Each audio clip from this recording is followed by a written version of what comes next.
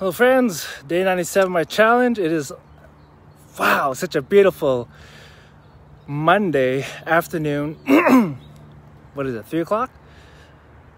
Probably.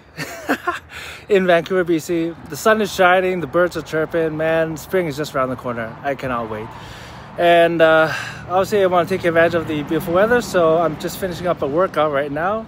Got my workout gloves, my weights, just doing a leg day today, so shoulders and legs.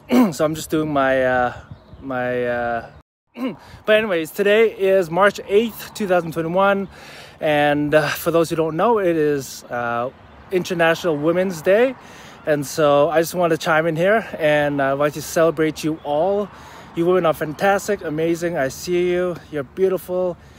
Uh, your your energy is needed in this world. And what is that? That's your, that's your love, that's your compassion, that's your heart, your grace.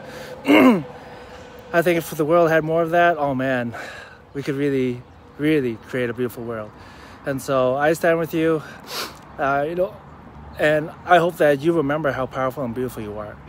I see so many times that many women they they don't step up, they don't let their light shine, uh, for whatever reasons. And I'm here to encourage you to shine because I see the light inside of you. And I'm here as the biggest cheerleader. And if I can help you in any way, support you, please let me know. But I just want to keep it short and sweet and say that I love you and you are amazing. And please be the lighthouse that you are. Bye.